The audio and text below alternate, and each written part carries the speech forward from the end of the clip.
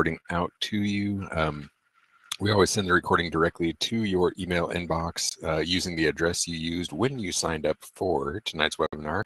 So if you don't see it in a couple of days, just give us a quick search for Simpler Trading or webinar or John Carter or something like that. You'll probably find us in there. If for some reason you do find us in your extraneous email folders, such as your spam, bulk, um, etc., clutter, promotional, whatever names they decide to call them nowadays, uh, just feel free to move us over into your inbox or add us into your address book. We are not one of those companies that spams you or sends you a bunch of crap you don't want or don't ask for. So we're definitely one of those safe senders to place in there just to make sure you can get the recordings and everything else that you ask for on time. And also want to let y'all know that we are in what's called webinar mode this evening. In webinar mode, you do have that chat window on the very lower left-hand side of your screen. Feel free to use that to type in any questions that you have along the way, or uh, just let us know if there's anything we can do to help you out. We will definitely uh, be trying to address some things as we go along in the webinar. However, do want to make sure to let you all know that John is a very thorough and well planned out presenter. And because of that, you'll often notice during the presentation that he might be leading you into a question and then we'll have that question answered uh, within a slide or two. So if we don't answer your question immediately, it's not being ignored. It's far more important to pay attention to the presentation as it progresses than it is to uh, have an interactive type thing. But we do realize that y'all probably will have questions and we want to get those questions answered. So we have three different avenues that we're going to help. We are going to have at the end of the presentation some extra time to go over any questions y'all may have, just an extra little Q&A session. We will also we will also be uh, available to help out via telephone and email, just in case anything is missed entirely. If you scroll up on the top left hand side there, you'll see that Lorna about herself has actually typed in our support email address and our telephone number.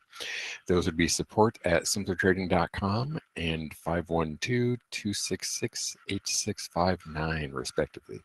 So you can definitely reach out to us and let us know if there is anything we can do to help you out and we will be right here to help you every way that we can. I also want to let you all know that, well, actually, so what? We went through a couple of quick housekeeping items. I did this a little bit backwards today, see if we're uh, keeping everyone on their toes. Let's go ahead and do some audio and video checks before we get to the webinar here. Can y'all see a live screen in front of you that says, welcome to the webinar. We'll be getting started soon. Has some extra little pink clocks floating around on it. Yeah, yeah, yep, yes, excellent. And you know, I probably should have checked before I started into everything else, but y'all can hear the words coming out of my mouth, right? If you can, yep, everyone's still typing in yes, yes. See the flying clocks. David says no. Well, I apologize. no. Already, I believe we are all ready to rock and good to go. Um, just always like to run through a couple of quick verifications and checks beforehand. Yep, exactly. It's not a webinar without it. You got it, Lorna. Alrighty, better late than never. I agree, Srini. Alrighty, so I think we're all ready to rock and roll. I already have my backup recording started, so we should be all set for a nice, smooth presentation this evening. I'm going to go ahead and mute myself here. It looks like Mr. Carter has arrived, and we will get started. The podium is all yours, John. Take her away.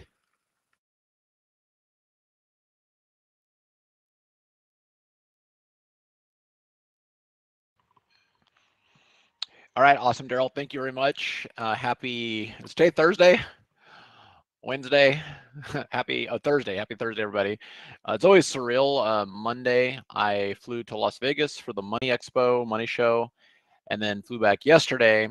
And then, um, yeah, it's a little surreal. You know, always. Well, first of all, oh, travel is always a little off. You know, kind of get you in a um, little out of uh, out of your bubble, which is always good. But then it's Vegas, and I don't know, Vegas ain't the same as it used to be. After about six hours, I was ready to come home. So um, I want to talk tonight. Um, we're just going to dive right into this, and uh, I suspect, and I'll talk about that, we are actually ready for a retracement. Uh, Nasdaq's up 90 points tonight. Is it going to fail again, or are we going to get something bigger? That's kind of what we're going to talk about but also just basically what are some setups that are going to be more consistent in this market. Um, I uh, I've gone through and I've underestimated the velocity with which uh, some of these moves have happened, and when I went back and you know I've got my trading records back to 2001, so when I went back or before that even, when I go back and kind of look at that stuff because we haven't had this kind of a market in a long time, um, you know sometimes a lot of trading is re-remembering, and I was like, oh my my God, and re-remembered a lot. So that's what I want to talk about tonight, and we will just dive right in. So, welcome. Um, so the question before we get going here is is really um, wondering, you know, is anybody just kind of wondering like, all right, so we've got this interesting situation, uh, what's going on, and we're just seeing some crazy stuff. I mean, first of all, we saw this huge move from the COVID lows where everybody thought the world was going to end and you know the Nasdaq and the stock market actually went ballistic uh, from approximately four. Wow, uh, I've got a my um my hand has a uh, a, a uh, not a cast, but I I kind of smashed my thumb and uh, so I can't. I guess I apparently I can't draw with that. So let's say I'll draw with my mouse. So from 420 to about about 1221 all right? We had one of the fiercest most magnificent rallies uh, that we've seen. And since then now here we are a lot of things are unraveling to put it lightly. The nasdaq is now 50% off of its highs from the covid lows to the december highs uh, crypto is crashing. The dollar is exploding. I think you guys have probably seen what happened with Luna. We'll talk more about that in a minute.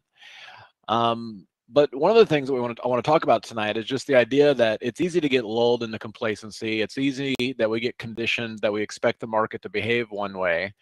And when that happens, if we don't change our strategy, it just becomes more difficult. And so that's what we're just going to talk about tonight and just kind of see what's happening. Yeah, it's not a splint. I mean, I didn't break it, but I have a uh, it's a wrist guard. It's not a wrist guard, but you can order thumb guards on Amazon, and you know just keeps it. You just can't move it. So I've got a, basically a sprained thumb, which really is no fun. If any if you if any of you ever sprain your thumbs, just let me know. I've got uh, some great great things that you can wear.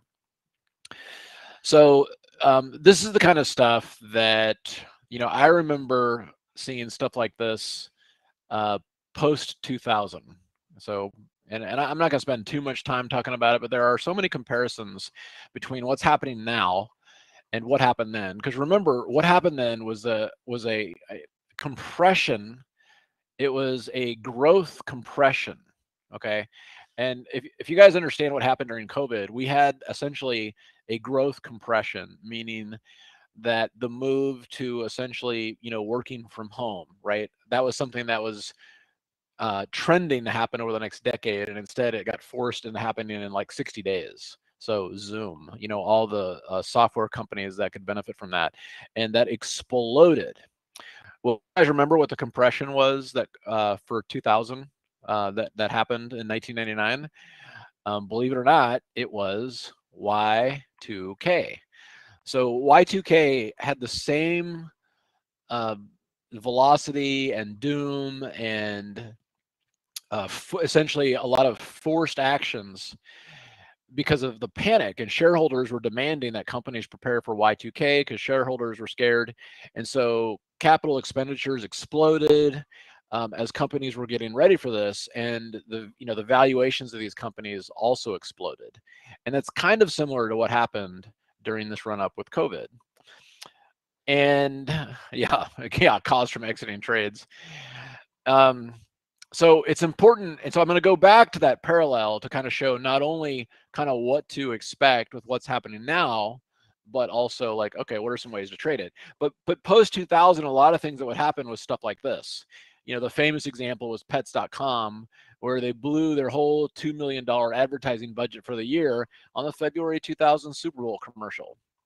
And i think in uh, you know by april they were out of business. So this this company you know, they started off down here saying, all right, we're going to quantitatively, we're going to peg this to the dollar.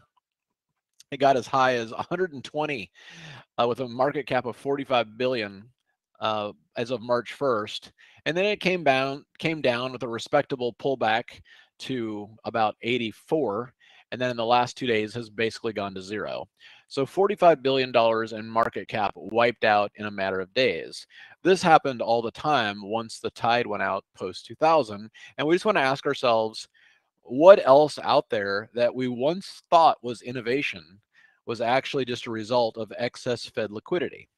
And when you're in the middle of it, it's very, very, very easy to get the two confused. And uh, that's what we want to kind of take a look at and see uh, how that can happen. Um, I, I always, I'm not going to go into the story too much. This is something that, it, you know, I think this was in 1996. Uh, this is a story I talk about in my book, but it just kind of forms the basis for whenever I like to take a pause and look at the markets. You know, it always comes back to this.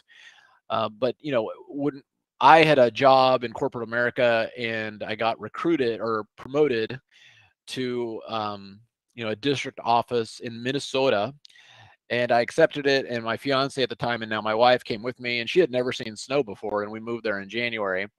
And the short version is, we had an apartment.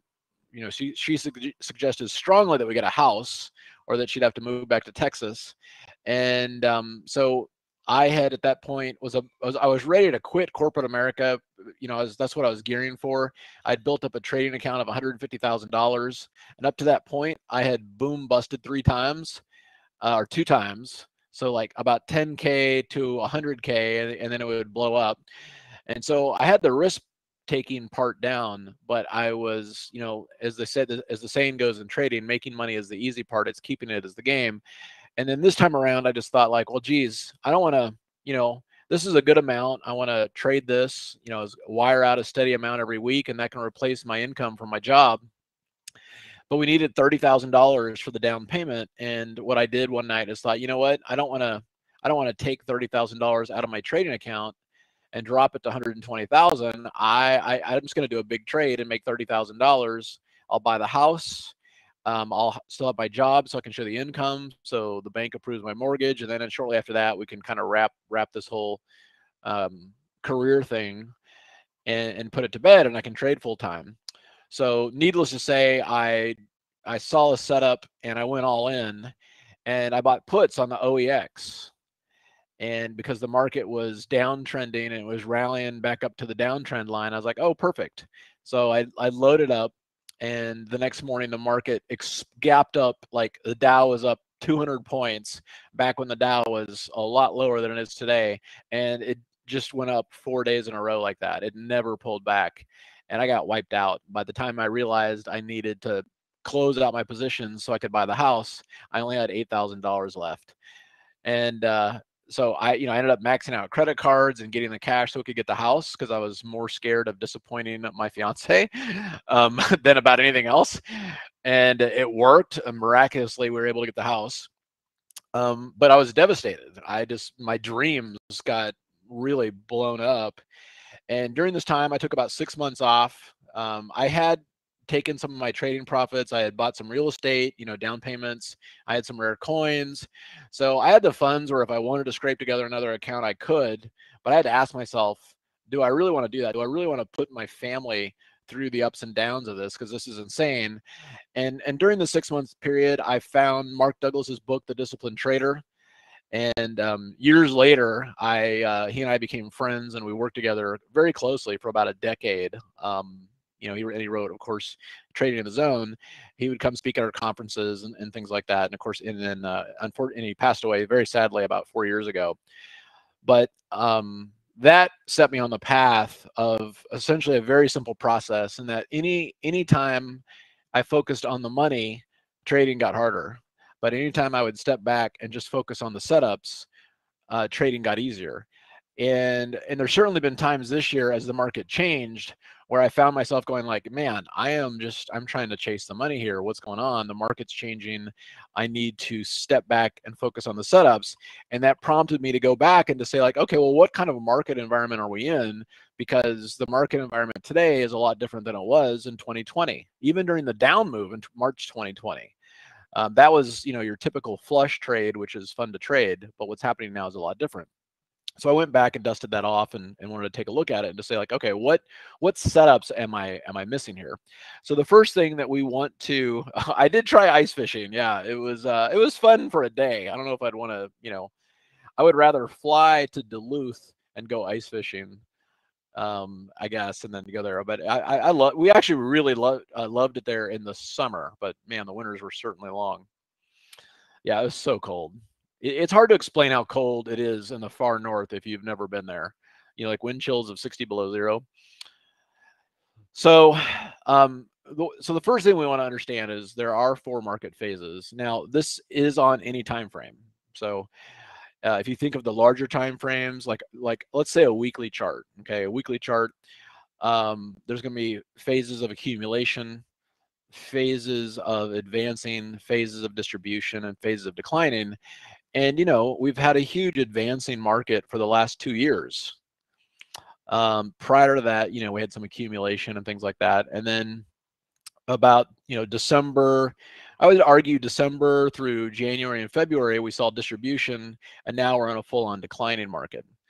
And a lot of this is triggered when the price falls below the 200 moving average on the daily chart.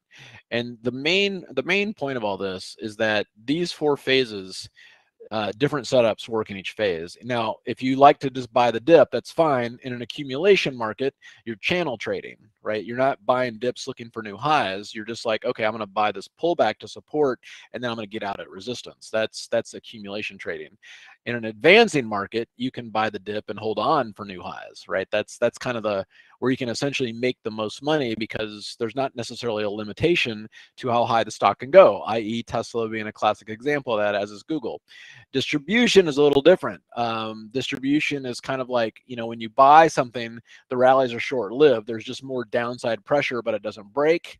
So let's get, you know, iron condors and things like that, you know, getting more active inputs.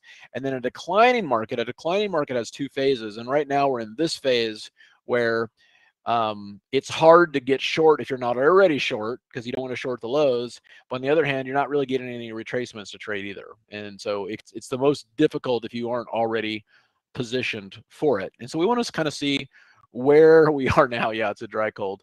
We just kind of want to see um, where where we are, right? And what are some ways and strategies to trade it? So as a quick recap, those of you that have been following me know, you know, 2020 was a stellar year.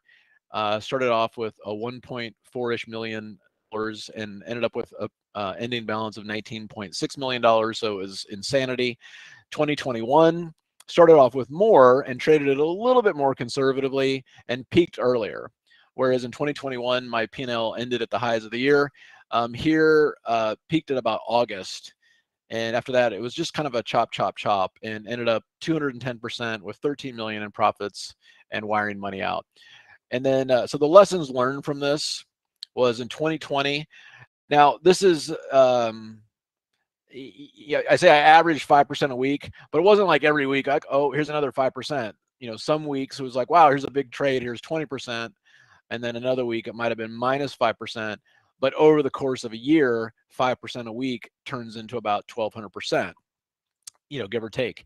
But the main lesson here is that when the conditions are right the conditions are fail- favorable and the wind is at your back, be aggressive because you don't get a lot of oper- you know those markets aren't like that all the time but when they are you want to recognize it and you want to be aggressive and you just simply want to work on your emotional fortitude to hold through the wiggles. 2021 my average was about 2.25% a week and the main lesson here was making money is easy keeping is the game and when something stops working cut trading size drastically and that's something that's very very important. You know if things just like wow they're not working cut it down, you know, 1%, 2% trades and wait till you get back into a groove before you, you know, pump up your size again both years, I was very aggressive about wiring out trading profits and putting them into tangible assets and experiences. This does provide a psychological edge. 2022 so far has been trickier. Okay, it's kind of like the great unwinding, and while there's been some some very solid trades, it's also been a lot of headwinds and feeling feeling like I'm kind of in a battle here. And it's like, all right, let's take a deep breath and see what we are in this markets and what are the setups that work best in this environment. And we all know nothing goes straight up or straight down forever, but we also need to recognize when the direction of major major order flow changes based on a huge, huge macro change. So um, I'm a huge fan of physical assets. Uh, the one thing I've learned is that physical assets are great, but they're not easy. You know, I've had stacks of silver and gold and stuff like that, and I always joke about this. You know, I loaded up on 25,000 ounces of silver um, back in 2005, 2006, looking for the great financial depression. And I got a good price on it. I ended up getting out at a decent price. But I wanted to get out, you know, it took three days to pack up. Um, I think I had to get a handgun and uh, go and you know drop it off and mail it and wait for the checks you know versus you know had i just done like say five futures contracts i could have right clicked and got out that being said the one thing that's happening right now too is that over the last decade or so wall street's convinced everyone and their mother to focus on financial assets because they are easier because you can right click but then when you start to see things implode like luna it really makes you appreciate having hard assets. And I think that there's going to be a resurgence back into tangible assets. And, you know, this is something to be aware of. So here's a quote from one of my trading mentors traders are born they're not born with the patience gene they have to learn it mostly through brutal lessons trading is merely a game of the patient taking money from the impatient and i always find that trading is finding the right balance of patience, and determination. Um, determination, patience, and courage are the only things needed to improve any situation. What I found is that the opposite, um, so, you know, impatience, if you have determination and courage, but impatience, you're dead. So eh, that's that's the key part. You know, you need patience, but you still need the courage to try and determination to see it through. Um, but if you're impatient and you have determination and courage you're dead. So it's really an important it's a really important thing. So what's happening right now? So in a nutshell we are experiencing the fastest tightening financial conditions in history. A lot of people don't realize that and when i mention that a lot of times people say well that's ridiculous. We've only had two rate hikes. This is not the fastest conditions in history okay? Well that's absolutely not the only piece of the puzzle and there's a couple of reasons that you can, or a couple of ways to tell. The first thing is that when you start to see things that were once considered innovative, um, we can see now that things are just getting thrown out on the trash heap, okay, as the Fed takes away easy money. Luna being a classic example of that, and it's just the beginning.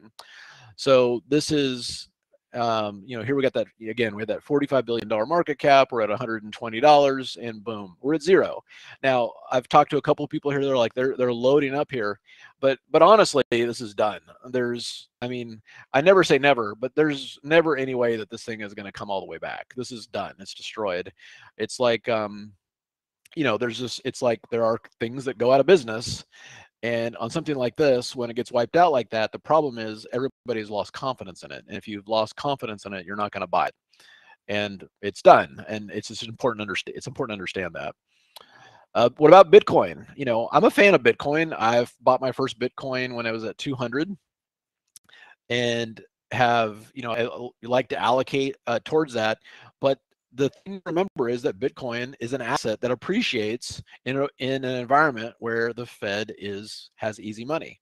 I think it's very possible that Bitcoin comes all the way down to where it was pre-COVID. I would I would buy some there, and uh, you know I think that the you know the idea that um, you know there's a lot of Bitcoin people out there that make a living pushing Bitcoin. Um, and while I admire what Michael Saylor has done, and I have no, um, um, what's the right term I'm looking for here? You know, nothing against what he's done. Um, he obviously has a vested interest in only providing good news about Bitcoin. And I think, you know, I think he gets a margin call if it goes down to 22,000. And guess what? The market is very much going to go to, to that level to test that theory. And it will probably go lower than that. Um, yeah, no, I've held Bitcoin. I, you know, of course, when you get spiked up there, it's always good to take some chips off the table. But you know, I think the idea that you know Bitcoin, Bitcoin in ten years is either you know half a million dollars or it's zero. So you know, it's a, it's one of those kind of things.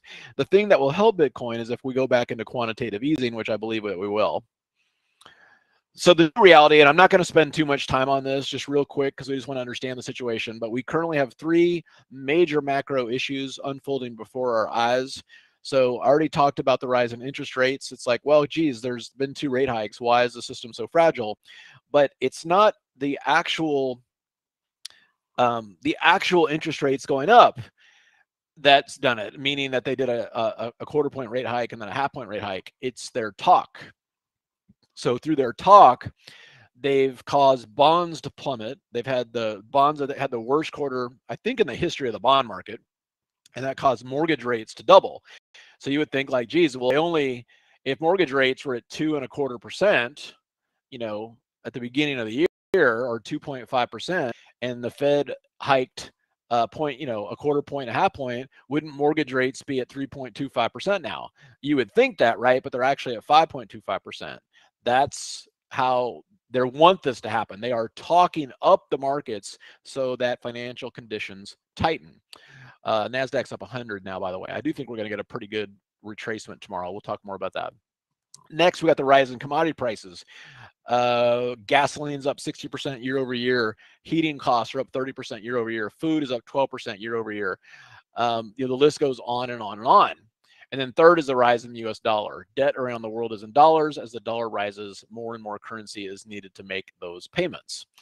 So on, on their own, each one of these individually represents a huge tightening of financial conditions, but the combination of all three is unprecedented. That is why we're seeing destruction in some of the more speculative speculative assets and that is going to continue and it's important to understand that. So when we have a situation like this we can see that okay and i and i took this last week when the nasdaq was at 13000 since then it's dropped another thousand points. The dollar is up another point. Uh, interest rates are up more and you know this this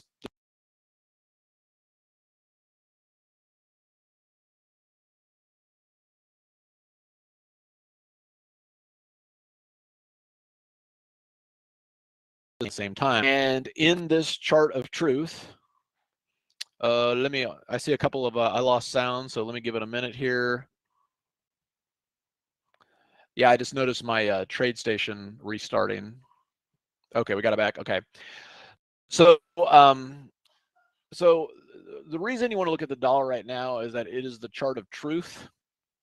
And as long as the dollar is going higher, and by the way, we're at 20 year highs. The last time we were here was in 2002.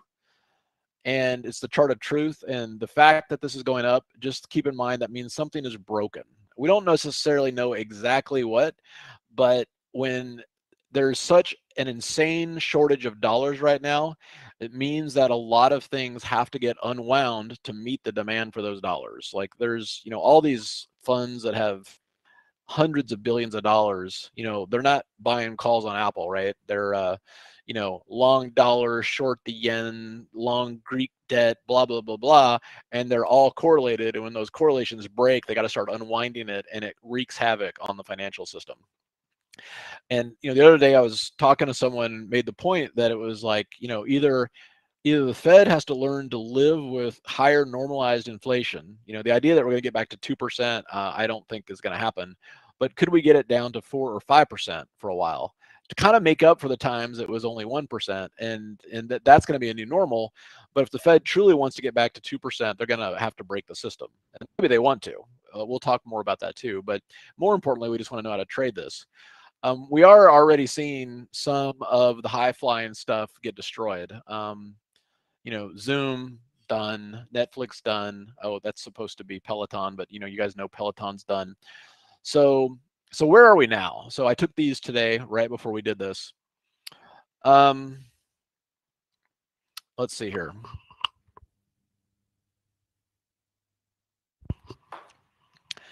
So this is a weekly chart of the spiders. So here's the key things I'm looking at here. When um, when we flushed here, uh, in the initial COVID lockdowns and, and everybody was nervous. Oh, that's interesting. I see a wildebeest in my front yard. That's not good. Um, they jumped the fence somehow. Hold on, I'm gonna I'll get a picture real quick. I'll have to show if I can get one, and I'll show you guys. Uh,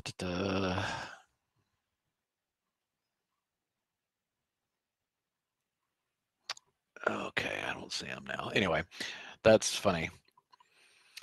Um, yeah, I hate it when that happens. Yeah, they're, they're like at the stairs in my front yard. Okay, wow.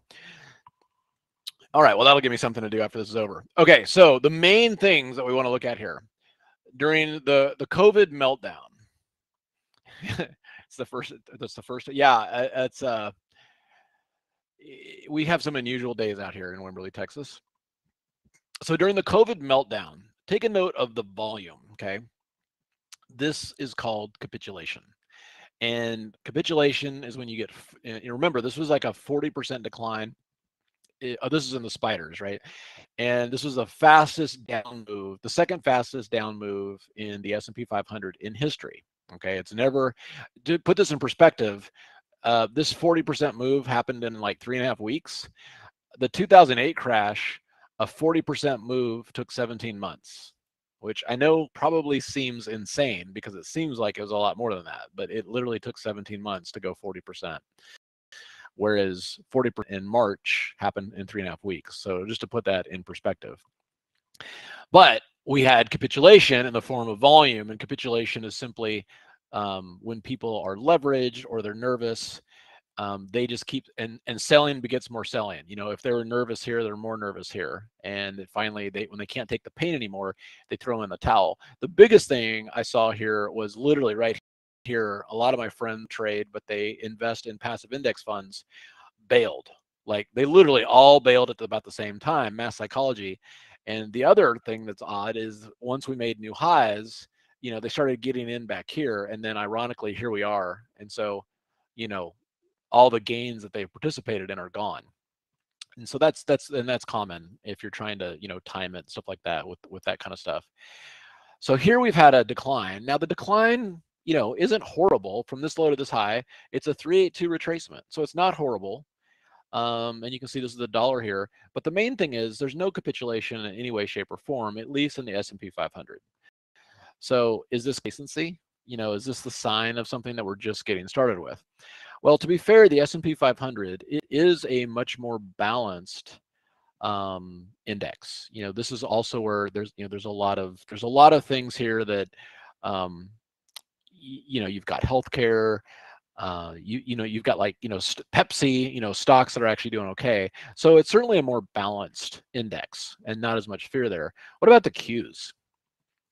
So if we look at the Qs, it's a different story. All right. So we are already from the COVID lows to the December highs, we are already at a 50% retracement. All right. This is important for a lot of reasons. The other thing that we've seen too is that we had here's capitulation during COVID. Here's here's the volume now. It's pretty close. You know, you could argue that capitulation is happening in the tech sector. And of course, as we all know, um, not only are we seeing stocks, you know, like Peloton and Zoom and Netflix get absolutely obliterated, Shopify, but once an index drops, um, a certain point, people also start to panic. However, I do think that the idea here that we're having the same volume here that we did here, um, you know, the idea is like, gosh, do we just go in and all short right here? The, uh, you know, I, I don't, I don't think so, but I think we, we have a playbook of how this will play out. And so we'll take a look at that. Um, now, of course, in a down market, you know, the my favorite kind of a strategy in a down market is very simple. Is like, all right, you know, when we get a rally back to uh, the falling 21 EMA, let's buy puts, and then when we get back to you know minus two ATR, let's cover it. The problem with this though is that, and this is a trade we put on the room, and you know, I, I wish I wish I had done you know a hundred more of these versus like oh let's wait for this. Um, the problem with this is that we're not seeing i'm not seeing a lot of retracements to the 21 ema all right on the daily chart. And so i did go back into like my history and say look well i know i was shorting a lot more um, you know in other down markets. Why you know what was i what was i doing different? And so i'll show you the setups that I did then, and you know, basically started dusting off, and I'm looking, you know, looking at again. It was just, it was, and I looked, and it's the thing about trading is like, man, you get, um, it's easy to kind of get used to trading one way, and then when the market changes, and yeah, I certainly was, you know, cognizant of the fact that we're going down, but it's like, yeah, I just, I just need some more. I just need some more 21 EMAs to short. We're not getting them, so I guess I'll focus on you know we're so extended. I'm going to buy it for that move back to the 21 EMA, and of course that you know over the last couple of weeks that hasn't worked at all. And so the question is, what do you look at in this situation to look? So so what do we want to do now? What do we, what do we expect now? How do we trade what's happening? What do we look for? So the first thing to keep in mind is remember that while history does not repeat exactly, it always rhymes. Um, and that's, I mean, if you look at a lot of the things that are happening in the world right now with, you know, Putin and the Ukraine. I mean, it's like this is a playbook for world how World War II started, except this time it's failing. You know, the when Germany invaded Poland, they, you know, they they they took them out and it was done in a short amount of time and it happened so fast uh, nobody could do anything about it kind of like what happened when we tried to you know walk out of afghanistan and this time the world is coming together and trying to stop it in in theory you know we'll, we'll see um so it'll be interesting to see how that plays out you know but that's a different a different topic okay so more importantly what we want to understand you know where are we now and what happens next. So here's what I want to point out. This is the year, this is 2000. I was trading very actively during this time. And we've had pretty much a very similar run up here. In fact, this run up on a percentage basis was more. This was Y2K. This was very, this part here was kind of very similar to the whole, you know, COVID compression, work from home. Everybody's buying from Amazon, everybody's buying tests, uh, similar. And then in 2000, we had the crash. Okay. This is exactly where we are right now. So we had the run up, we've had the crash. All right. And a 50% retracement, I would say, is a crash. If, you know, we, I, I would defer to calling it a healthy, a healthy retracement. But, but ultimately, when people talk about the 2000 crash, that's what's happened. More importantly, is what happened next. Okay. So with the 2000 crash, we had a situation, you know, where we rallied we came down, we did a double bottom, and then we rallied. We came down, made a lower high, and then we got within about, mm, I want to say, I think it was like 13% ish back to the high. And the optimism here was so strong. I mean, everybody's like, oh, yeah, I told you, blah, blah, blah, blah, blah. And then we had the walk down from the dark depths of fiery hell. And this, um, now this already happened in some stocks like Peloton and Shopify and stuff like that too. But I'm talking about the broader uh, the broader indexes, right? So we've seen this already happen in some individual stocks. But notice here, not only did it come all the way down, not only did it come all the way down and take out all the gains, but then from there, no one would buy it and, and and it eventually actually even went out below these levels and it took a long long long long time for all the excess to be scrunched out of the system i think there's a possibility that we're going to see something like this again maybe not to this extent but remember the the Fed right now wants is talking wealth destruction. They need assets to come down so people stop buying crap. Okay, like guys, quit quit buying all these houses. Of course, you know they should tell that to BlackRock, not to um, not to a family that's out there trying to move. It's the hedge funds that are buying up all the houses, uh, but that's another story but the most the reason that this pattern is important is this is how humans have proven to behave after speculative fervor. And humans don't change. That's why history repeats itself. Humans the way they look at opportunity the, the way they look at greed the way they look at fear is exactly the same today as it was a thousand years ago or two thousand years ago. All right? I remember i was taking a history class and i got to read the journal of a merchant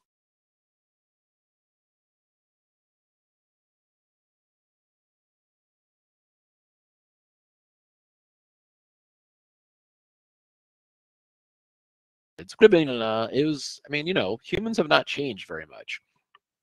And so they behave very similarly similarly in these situations and i think that's just important to understand. Okay what was how long was i out? I, there's this time of day it's like i get these uh i don't know if it's hot spots mm. okay journal of the merchant. So the main point there was that the journal of the merchant is that you know, as you're reading through like his day to day and his hopes and dreams, that could have been written yesterday. um, it's the same. I mean, it, you know, it's the same idea. I want to, you know, I'm gonna um, try to expand my business, and I want to, you know, get this girl, and I want to buy this. I want to save up for this, and I would like my kids to do this. And this is, you know, 500 years ago. And I don't know about you guys, but you think like, oh, 500 years ago, people were just kind of running around, um, just you know, you know, foraging for roots and berries uh, when in fact it was you know it was human humans the human has human brain has not changed very much. Um, and the motivations and the fear and the greed and all that no it's important to understand. And so you know the the the tulip bu- the tulip bubble in holland um, the south sea bubble all, all that kind of stuff is it's the same same shit different year right? Different different decade different century.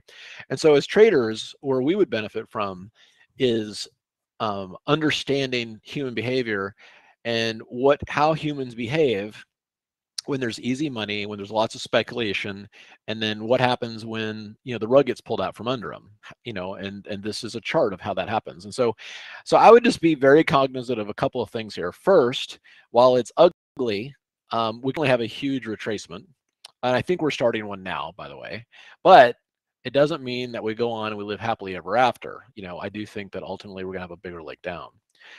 Uh, so here's a daily chart. So this makes it a that was a weekly chart. So on the daily chart, this is you know again this is where we are now, give or take on the Nasdaq. We kind of these are the hardest markets to trade. If you're are if you're already short and you're holding through everything, great. Um, but what's tough is when something is so stretched, you know, do you buy puts or are you going to get your head ripped off? Because, you know, as we know that the best rallies, actually the biggest one day rallies happen during a downtrend, during those retracements and you don't want to get your head ripped off. But the pattern here is we're here now, okay? So so um, if we look at a playbook here, we're here. So we could expect a rally, you know, at least back to the 21 EMA, which is a long ways away, and then a retest of the lows, okay? And then from there we'll see.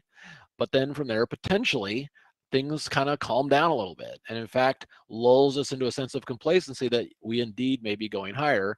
And if we look at the if we look at the timeline here and how this worked, then you know um, I would expect that that could happen through about the same timeline here. I mean that that would imply that the summer here we actually see kind of a rally that gets everybody excited again, and then come late September October uh, the markets puke. And then during this too, and I've circled this, this is what I call an orderly decline, and an orderly decline to me is a lot easier. You get all all these rallies back to the 20 EMA, you short it, you buy it back, you short it, you buy it back, you short it, buy it back. That does not happen during this initial puke because it gets really, really nasty.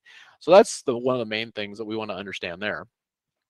So now what do we want to do? So it means we do not want to get lulled into a sense of complacency that the market is going to keep going straight down either. Okay thinking that the market's going to go straight up um, is also you know is just as bad as thinking that it's going to go straight down and we just kind of want to know when not only when do we want to kind of um, make that change but we can't figure it out emotionally. We can't look you know we've got to have tools we've got to have kind of you know kind of that checklist of like okay when should i stop being so aggressive? The downside eh, when should i be careful of the downside? When should i reshort and all that kind of stuff? So remember so the main thing here is that you know where we are now we've already reached that 50% retracement on the nasdaq which happened during the 2000 crash we then rallied to with almost 10% of new, uh, new all-time highs. So it's very possible that we're bottoming now and we're going to have a hell of a rally into the end of the summer.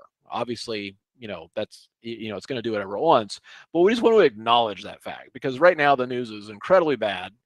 Um, everything looks horrible and we just want to be you know kind of get a sense of like all right um, you know essentially when when things are at their rosiest, everybody's the most bullish, and when things are super ugly, things are at their most bearish. And right now, the the bearish sentiment is is is at the highest levels I've ever seen. Okay, so we just want to keep that in mind. The point is, the market is fast and it can change fast. And the, here's the biggest problem. I'm a huge fan of the daily and weekly charts, but while they are good guides, they are way too slow to help us out in this type of environment. So what do we do? So here's the daily chart of the NASDAQ, and this is where I've experienced some frustrations this year. So in kind of a normal, you know, a normal decline, right? You come down, you rally the 21 EMA, let's get short, you know, yay, yay, yay. We come back to the 21 EMA, let's get short. Um, you know, here's the 21 EMA, let's get short. Oh my God, here's, you know, this. now in this, you know, basically we've dropped 3,000 points from here to here, and we've only hit the 21 EMA twice. All right, that that gets well, for my style of trading, it gets frustrating because a, um, you know, I don't like shorting. I don't like shorting in the hole, and then I'll tend to start looking at things like, well, maybe I can buy it here for a move back, and then we don't move back. So that's where I've got to look at it and say, you know, what's not serving me here is this my style of trading right now off the daily chart, which works good in a you know a slowly declining market or a rapidly uptrending market ain't working here. So when I go back and I dust off the playbook and see what's happening, it's like, oh yeah. So in this case, you can drop it down, especially on the futures, to a four-hour chart. Now all of a sudden, that same move that didn't provide any opportunities on the daily chart provides actually, to, in my mind, a much more cleaner roadmap. Many more tests of the 21 EMA to short, um, much more logical movement um you know you're getting a does that make sense? So so essentially you you know you can't if you do a 30 minute chart it's going to be too small um and obviously a five minute chart is more for scalping but if i want to do swing trades that i could be in for you know even a couple of days i've got to find essentially a time frame that matches the velocity of the current market okay? When the when the velocity of the market is as fast as it is um that's that's what we want to look at there. So um and then here's another here's another four hour chart, and this has the Keltner channels on it. The um, the other thing you can do here is that if you guys are familiar with the hope and lope buy signals, in an environment like this, when you get short, you can just kind of keep writing it down until you get the buy signal.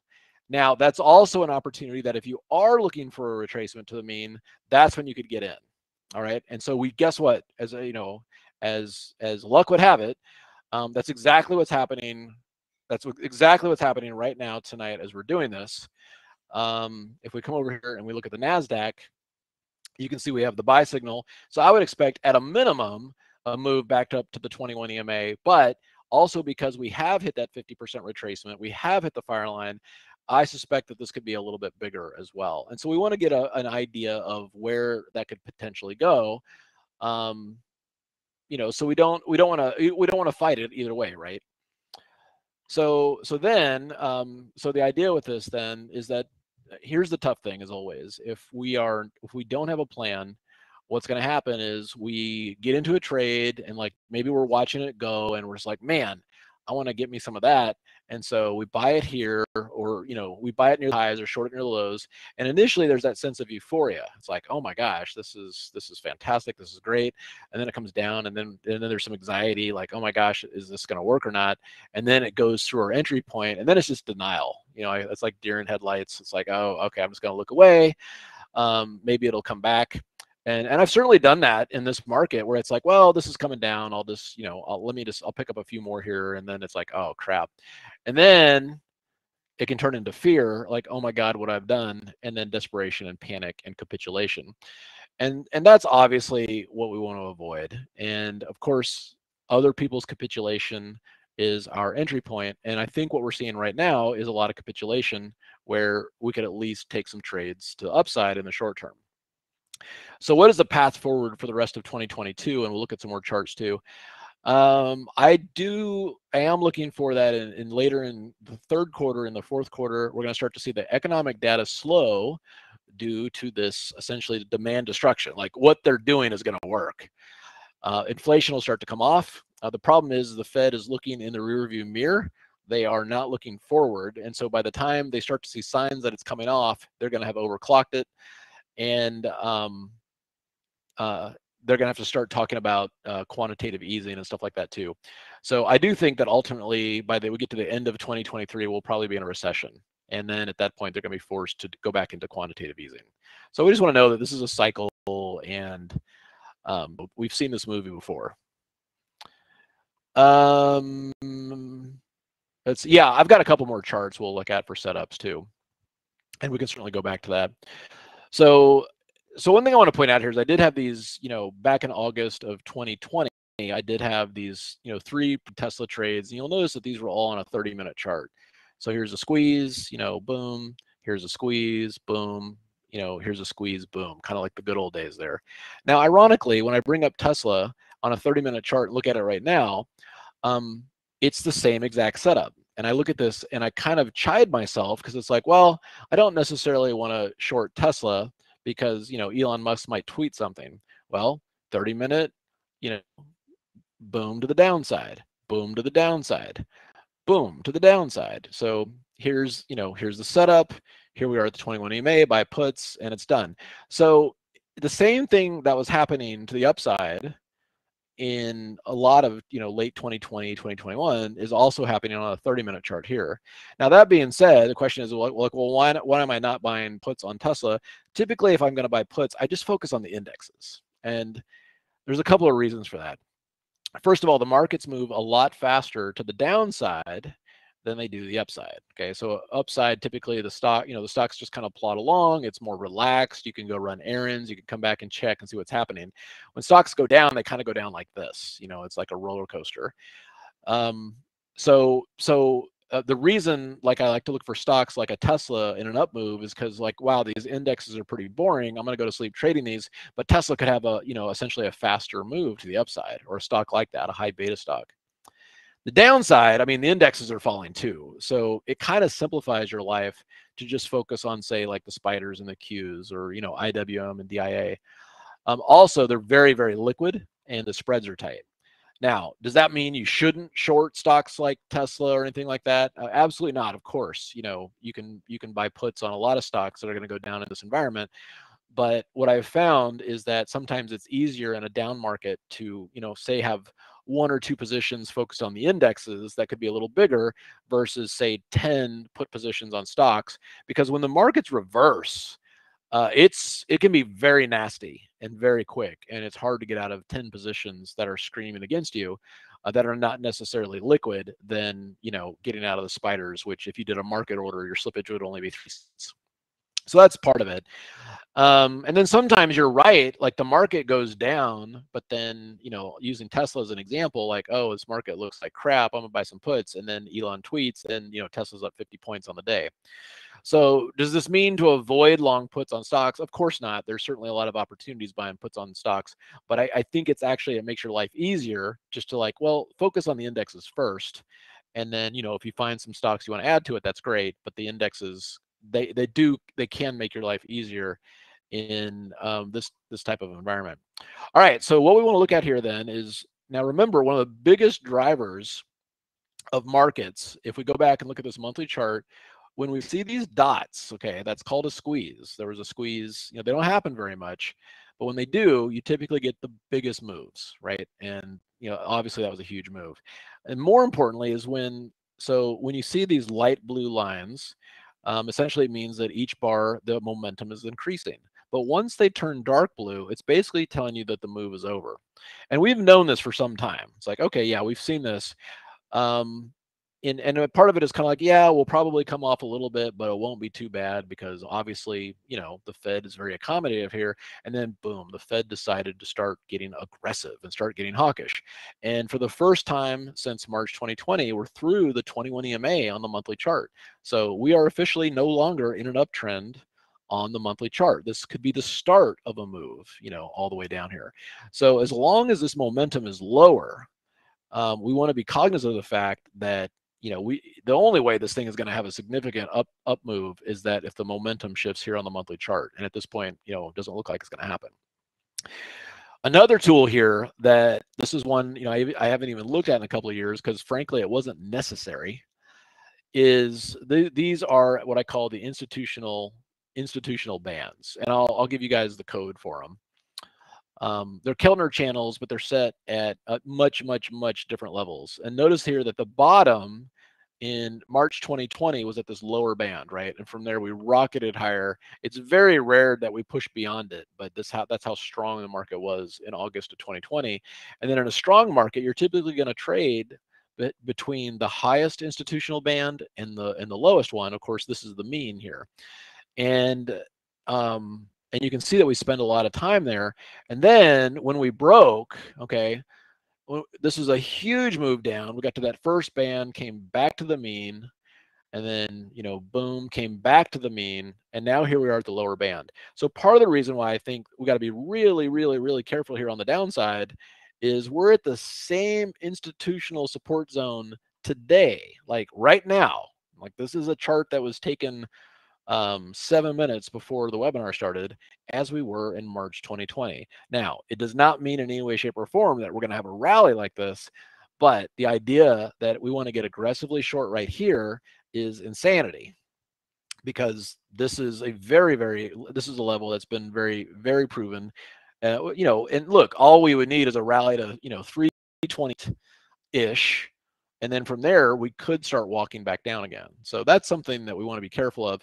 And if we look at the spiders here, same thing. And remember, during uh, March 2020, that's the only time I've seen them break through to the downside. They did not break through on the Qs.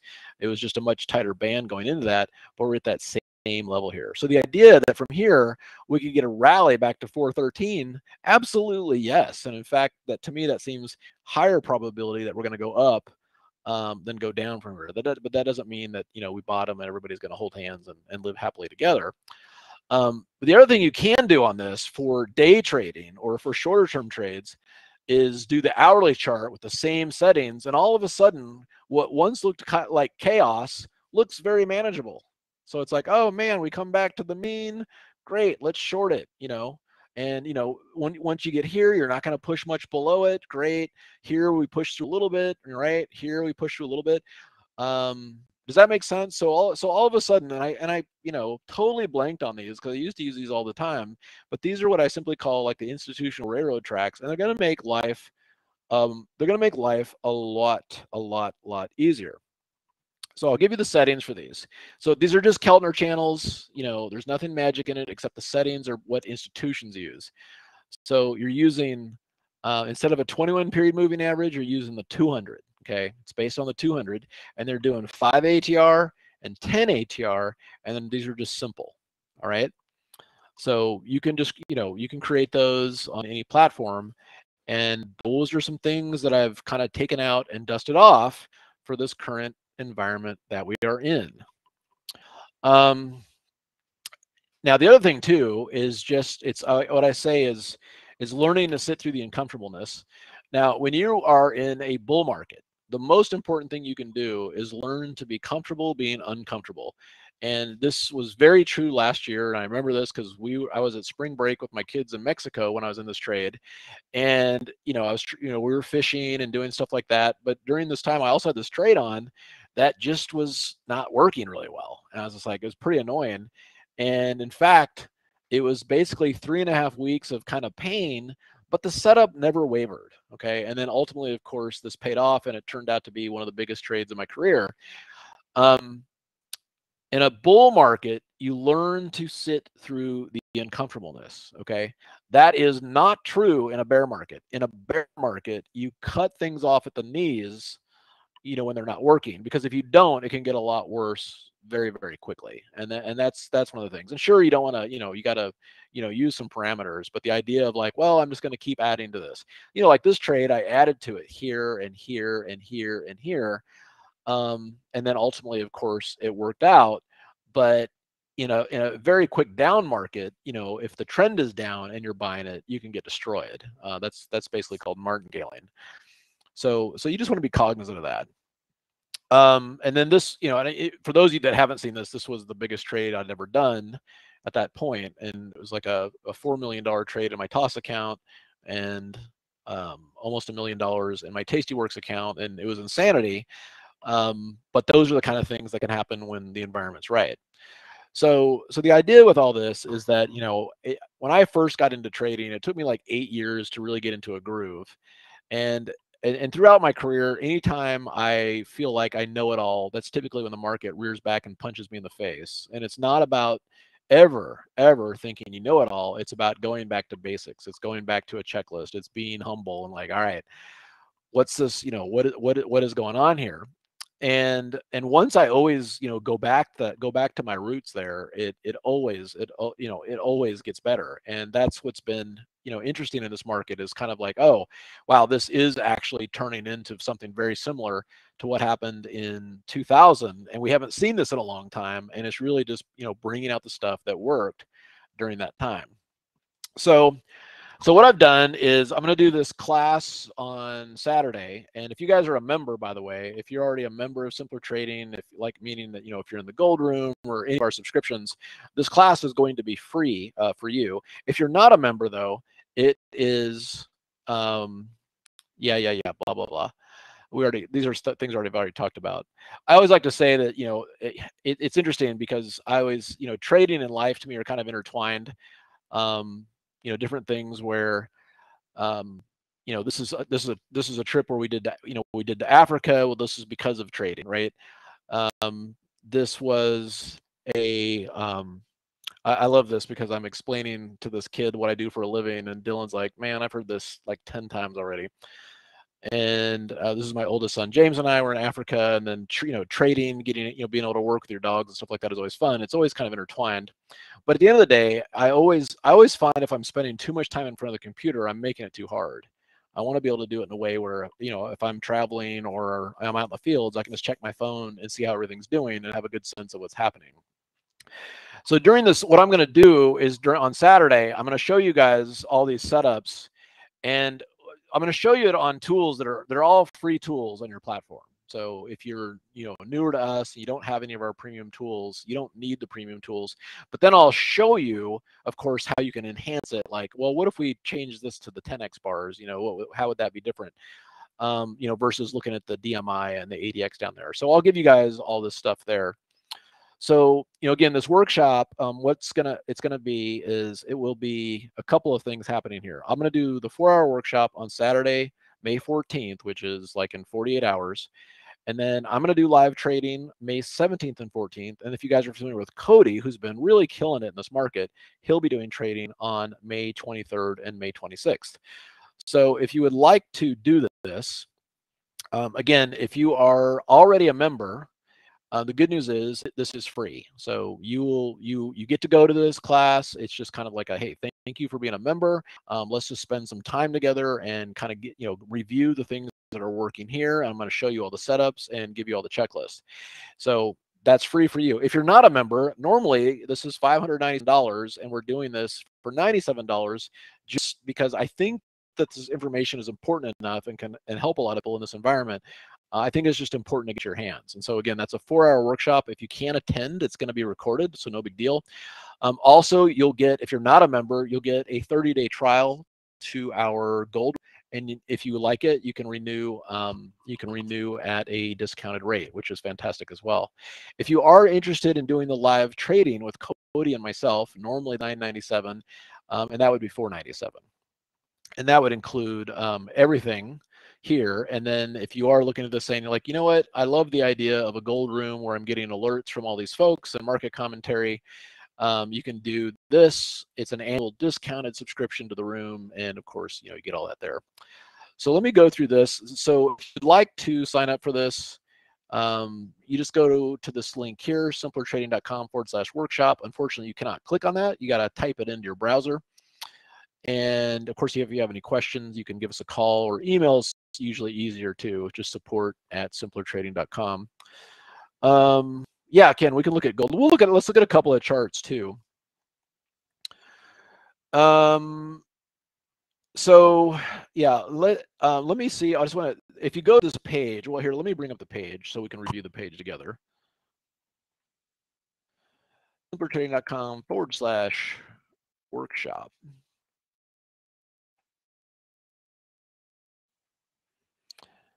So if you go to the page,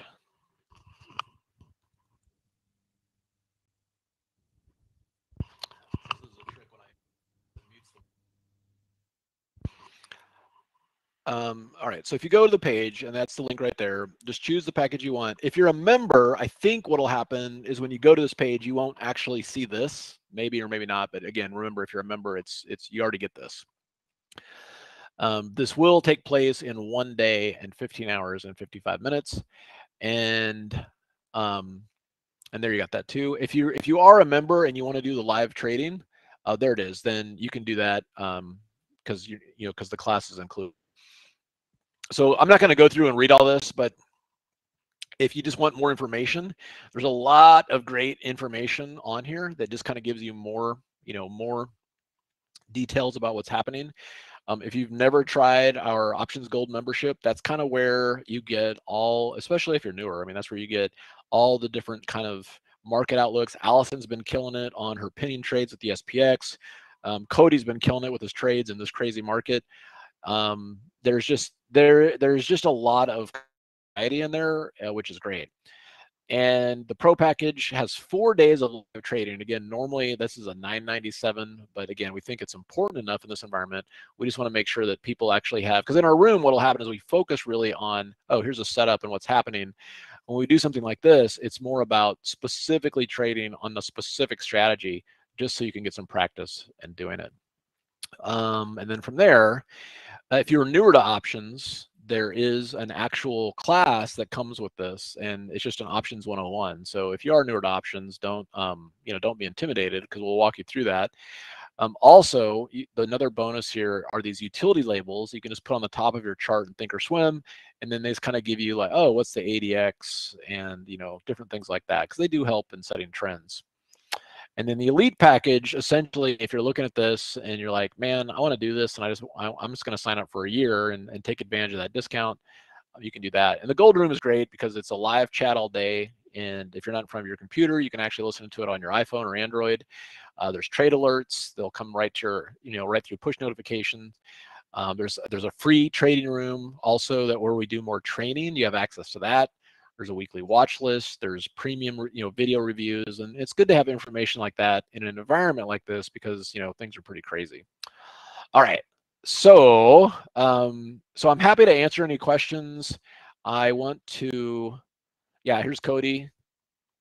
Oh, that was quick. Where'd he go? There he goes. So um, the cool thing about Cody is he's also super disciplined, and I found this too. My dad was in the Marines, and so I found that you know people in the Marines they learn they learn discipline really well, and it's kind of awesome watching him put that to work in his trades. And so that's that's something too that an environment like this that that's so so important. Um. All right, so I'm going to end it on this slide, and then happy to look. You know, there was somebody that asked about gold um, if we look at gold with these institutional bands, now something like gold, um, I'm going to come over here and put in GC and switch to a daily chart. And you can see we're kind of getting a little bit of a bounce there as well. But if we come over here and you can see how logical this looks, right? It's like, oh, okay, this looks a little more logical now. If we look at this on a daily chart, it's kind of like, um, now you see all this weird stuff on there all that is is a setting which we don't necessarily need. I don't need open interest and I don't need contract chains events. That'll clean it up.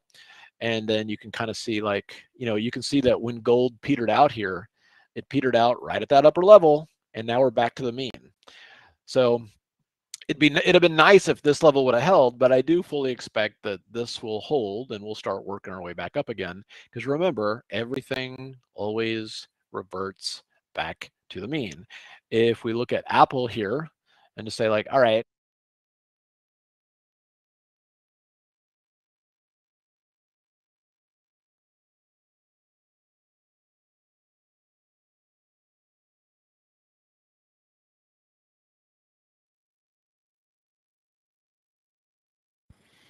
Hey guys, looks like a that was funny. We actually were able to watch in real time John's internet uh, drop off as he was trying to pull up the symbol of Apple. For a second, I was looking at it like, oh man, it looks like his charts are slow. Oh, I think he's back. All right, I'm going to go and mute myself.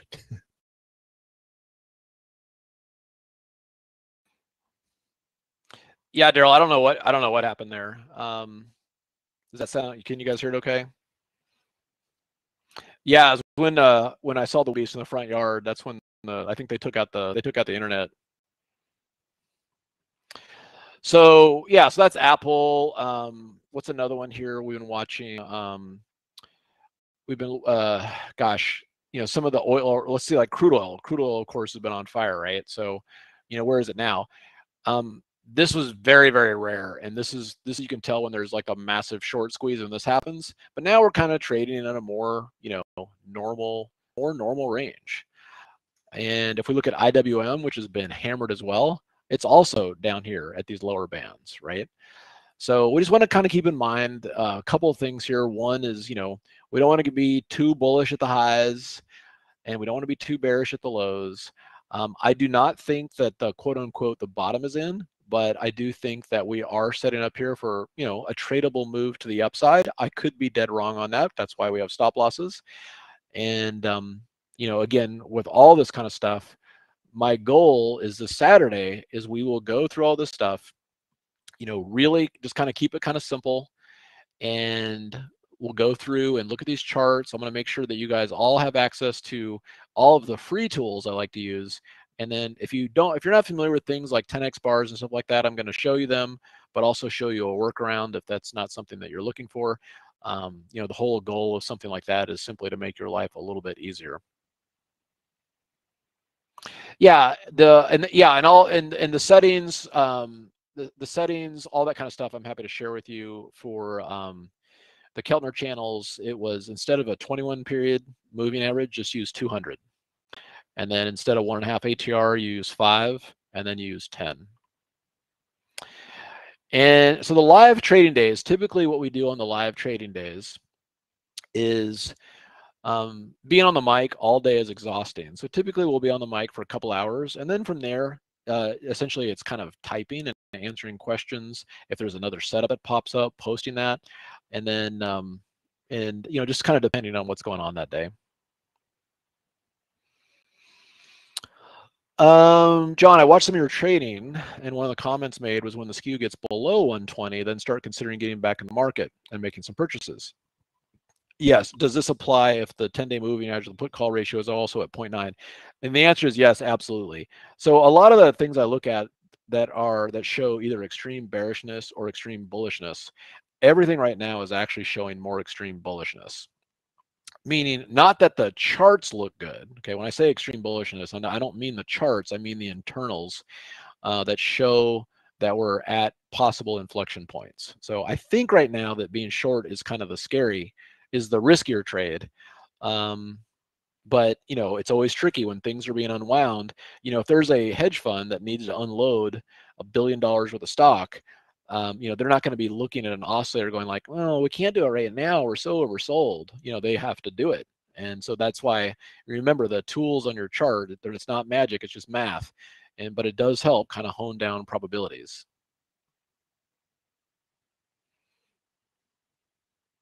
Yeah, so Trader So so during the Saturday class, I will go through, um, you know, all the stuff that we kind of talked through. We'll just kind of go through in more detail, so you can kind of have a checklist of, all right, so these institutional Keltners, boom, this is what you want to look at. Um, you know, the setups that work good and, and stuff like that too. And again, if you remember, remember the class is free, and if you're not, instead of having to do 597 bucks, it's just a tiny, I call investment of 97 dollars. That's like um you know, as one of my favorite sayings from a was trader was Tony Laporta. You know, it's like, oh, that's like trading a one lot, which is like kissing your sister. And I always like to ask him, like, well, how do you know what it's like to kiss your sister? But um, you know, in, anyway, it's just it's one of those things where it's uh, uh, it's it's a it's a small investment in yourself to I think learn some tools that can really help during the course of this market and produce a really nice ROI. Yeah, the quant pivots have been fine. Um, we've been pushing through them this week, but we're starting to move back up through them. So, you know, we've definitely had some extreme, um, extreme levels. The monthlies are holding up just fine. And uh, I, I, someone, one of the, uh, one of the members that I talked to, she emails me every day. I don't know if you're in here. Um, she uses the two-hour pivots and just loves them. Yeah, every day. Like, yep, made another 300 bucks. And I was like, wow, I should probably look at those two-hour pivots. Yeah, so Philip, the so the the we're going to go through um, essentially the setups that are kind of that are working in a market like this, um, and we'll also cover checklists of what what to do. You know, if we do actually resume in an uptrend and things like that too. But the idea is to come out of that with kind of a playbook. Yeah, Helen, I, I do. The, you know, I, I think the biggest error I've made over the last you know six weeks is really just kind of focusing on the bigger charts, you know, like the weeklies and stuff like that. And it's just, you know, missing a lot of opportunities versus drilling down to, you know, like the two hour levels and stuff like that. All right. All right. Well, I want to, uh, we've already been here for an hour and 15 minutes. I want to respect everybody's time. I will leave this up here. Uh, remember, if you have any questions, all the answers are right here. Um, this four-hour workshop will be this Saturday, May 14th, and that will be from uh, basically 12 12 noon central. See if I can write this out. 12 noon central. And then the live trading, the dates are on there. I think it's like the 17th and there's the 24th and the 26th, but the dates are the dates are all on there. All right. All right, everybody. Well, thank you for joining. Have a fantastic evening for those of you that are joining me on Saturday, and I look forward to seeing you then. And um, as for whatever reason, I always like how Allison signs off, and I'm just going to borrow her phrase: "May the trade be with you, and have a great night."